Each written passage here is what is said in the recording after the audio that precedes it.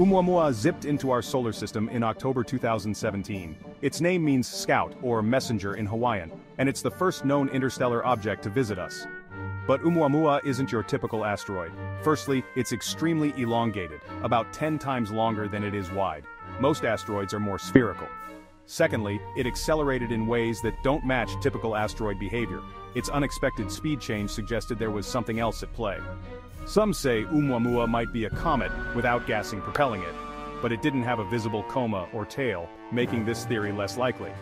Another theory suggests it could be an alien probe or technological artifact. While intriguing, there's no concrete evidence to support this, and it's considered a long shot by many scientists.